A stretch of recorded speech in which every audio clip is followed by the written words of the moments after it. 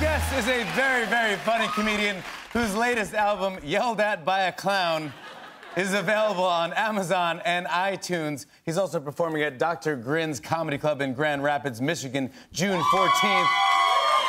You better be there June 14th and 15th. Ladies and gentlemen, please give it up for Nate Bargatze!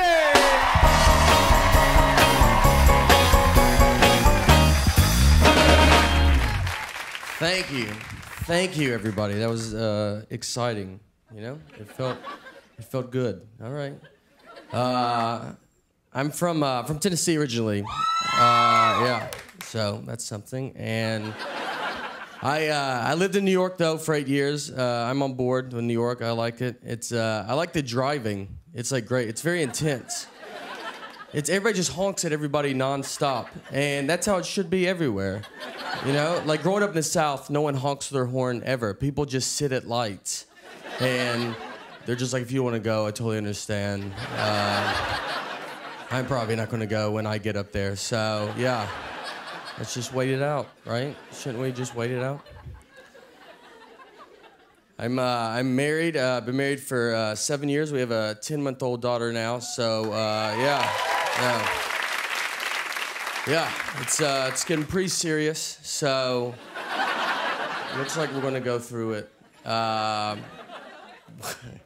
we were living in New York when my daughter was to be born, but she was not born in New York. She was born in Tennessee. We flew home. Uh, and had her there. I did not want her to be born in New York. Like, I don't need her growing up thinking she's better than me. So, yeah. Yeah. I told her, you start where we start, all right? It.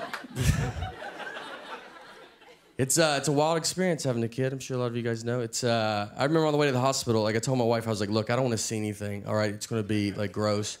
Uh, I wish it was like the 50s when they didn't let men in the hospital. But it's not. Now doctors are just like, why don't you deliver the baby? Like, why don't you do most of it? They just pull the baby out and they're like, here, cut the umbilical cord. But like, I didn't take a class. They just act like I'm the guy that cuts umbilical cords at the hospital. I almost cut the wrong part, and then I didn't. The guy's like, "That's not right." I was like, "Oh, so maybe you know you should jump in. You did go to doctor school for this. Why am I doing minor surgery right now?" Then they just hand you your baby, and then they're like, "All right, we'll see ya." And that's when you're like, "Well, I could use your help actually now. Like, I don't know how to do this." Uh, the first question I asked, I should have probably kept her because I was like, "How much do you feed it?" I bet it's a lot. Um, it sounded like I was buying a hamster at a pet store. The biggest message they tell you at the hospital, the number one, they're like really big on like, all right, whatever you do, let's just try not to shake this baby. That's that's literally like the number one goal. And they tell it to you, they're like, you know, obviously you're gonna want to shake the baby, but yeah, I mean, it would be so awesome if you just did not shake this baby. And then they showed me a video of a guy that was like, here's what I do instead of shaking my baby. Uh, like, he was like, I take walks, for instance. Like, I walk uh, 70 miles a day or something. I walk a lot. I've barely seen the baby. Uh, then I signed a certificate, like I was in kindergarten, that said, all right, like, I promise, I swear to God, I won't shake the baby. Like, quit asking me. I've never heard the word shake so much in my entire life. That's all we talked about. The first night we got her home, she was like crying for like six hours. You're just like confused, we're delirious you know, and I was like sitting there and I was like, wait, are we supposed to shake this baby? Is this when we do it? This seems like when you should do it. Uh, we didn't shake her, so it's all right. You guys don't have to call somebody. Uh, we have rocked her aggressively, but there's a pretty big difference And She is 10 months old. She had to get a, we had to go to a nine month old checkup, and uh, she had to get a shot it's uh, very nerve wracking when a baby gets a shot because you like they don't know what's going on. Like she's just looking, you know, at us, being like, "This day's going unbelievable." Like I don't, I don't even see what could go wrong. And then you're like looking at her like it's about to all go wrong.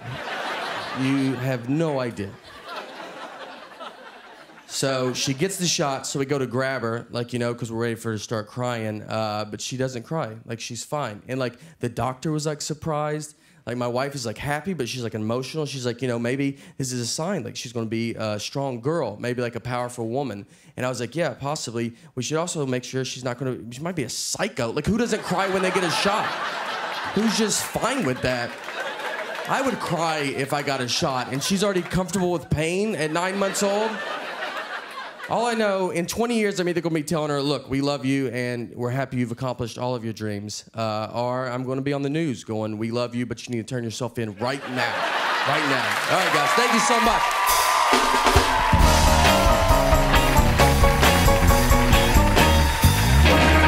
Nate Bargatze right there.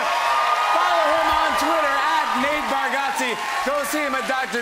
Comedy Club in Grand Rapids, Michigan, June 14th and 15th.